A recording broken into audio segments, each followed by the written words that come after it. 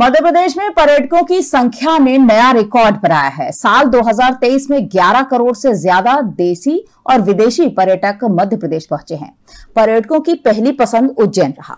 बाबा महाकाल के दर्शन और महाकाल लोक देखने के लिए सबसे ज़्यादा पाँच दशमलव अट्ठाईस करोड़ लोग पहुँचे हैं। मध्य प्रदेश टूरिज़्म के स्थापना दिवस पर प्रदेश के पर्यटन मंत्री धर्मेंद्र लोधी ने प्रदेश वासियों को पर्यटन दिवस की शुभकामनाएँ दी और कहा कि मध्य प्रदेश पर्यटन के क्षेत्र में तेज़ी से आगे बढ़ रहा है। धार्मिक स्थलों का ऐतिहासिक और सांस्कृतिक महत्व भी पर्यटकों को आकर्षित कर रहा है। यह स्थल प्राचीन इतिहास, वास्तुकला और संस्कृति का अद्भुत मिश्रण होता है।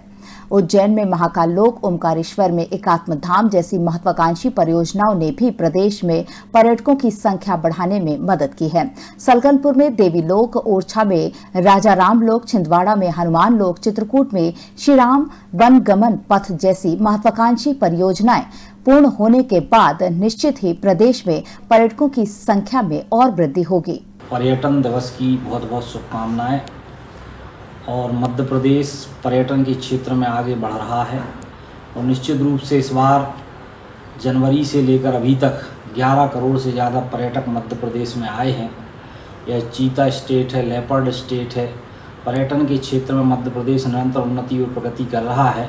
आप सभी को पर्यटन दिवस की बहुत बहुत शुभकामनाएँ। उज्जैन के महाकाल लोक में दर्शन करने वाले श्रद्धालुओं की संख्या में बढ़ोतरी होने पर एमपी पर्यटन विकास निगम के प्रबंध संचालक टी इलैया राजा ने खुशी जताई।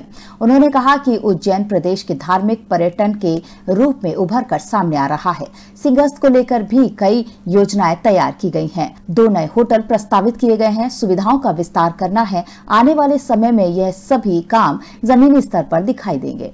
धार्मिक पर्यटन मध्य प्रदेश का सबसे श्रेष्ठ, इन कैटेगरी में ना उभर के आ रही है। सबसे ज़्यादा लोग है ना ऐसे धार्मिक स्थलों में, हमारी ऐतिहासिक स्थलों में ना जा रहे हैं। मतलब उनका है ना शांति के लिए और उसके अलावा आसपास की प्लेसेस में भी कर रहा है। एक सर्क्यूट है ना कैसे बनाया जाए?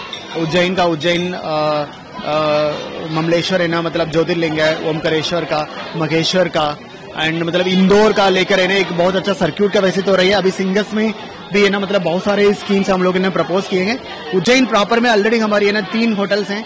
अभी एक होटल महाराजवाड़ा में हेरिटेज होटल है। वो जल्दी ही है ना विद इन दो महीने के अंदर के एक नया प्रॉपर्टी के माध्यम से ऐड हो जाएगा। उसके साथ साथ और दो होटल्स है ना सिंगर्स के ना, इसके अंतर्गत है ना प्रस्तावित किए गए।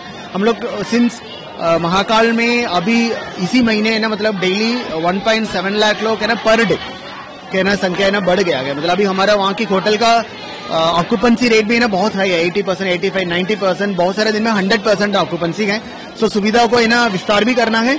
एक बहुत अच्छा अनुभव भी है ना देना है वो भी है ना हमारे लिए चुनौतीपूर्ण है। आने वाले समय पे आ, सभी लोगों के ना शासन की प्रशासन के ना मार्गदर्शन में ना ये डेफिनेटली साध्य है और उसी दिशा में हम काम भी करेंगे।